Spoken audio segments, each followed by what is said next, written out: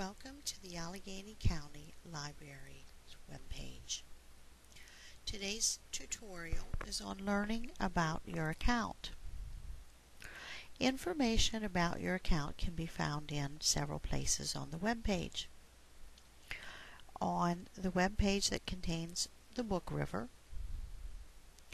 on the right panel you can see there is a My Account link listed. The link can also be found by going to the titles page. After you um, type in a search, your account is located on the bottom in the green bar on the right hand side. It is also on the bottom of the genre web page and you can see it's down here as well. when you click on the My Account link,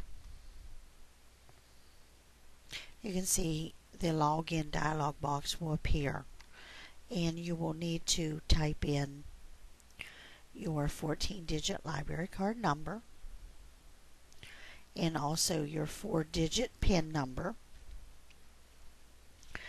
and if you want to create an easy login, you can.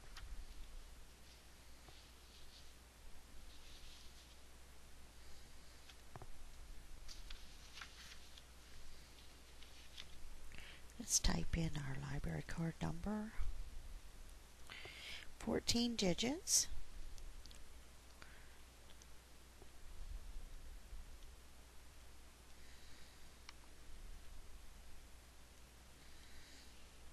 And then click on your log on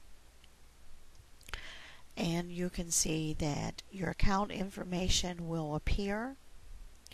You can use your scroll bar to move up and down the list of items that you currently have out. Um, you can also see that how many loans you currently have out, how many requests or hold that you have, and also how much um, that you owe in fines for late fees.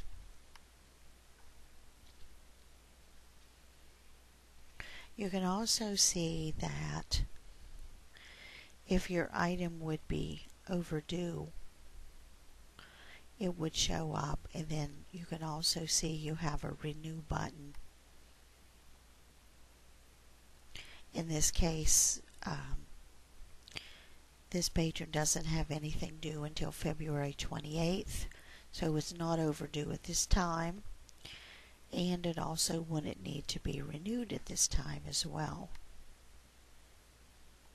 Also at the bottom